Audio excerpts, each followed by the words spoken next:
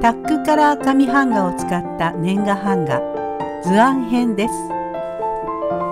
タックカラー紙版画を使うと簡単にカラフルな年画版画を作ることができます。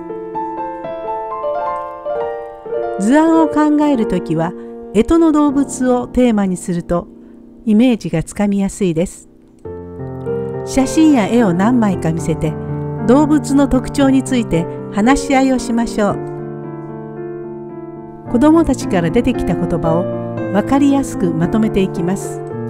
この時タブレットを活用すると席の前後ろに関係なく子どもたちが手元で写真や特徴を言葉でまとめたものを確かめることができます。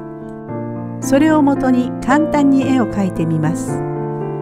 できるだけ簡単な方が作りやすいことを子どもたちに伝えましょう。何回か練習したらはがきサイズの中に2022の文字と一緒に収まるように書きます。タックカラー版画の場合途中でデザインや配置をある程度変えることができるので簡単に書いておきましょう。図案ができたらタックカラー紙を使って版を作っていきましょう。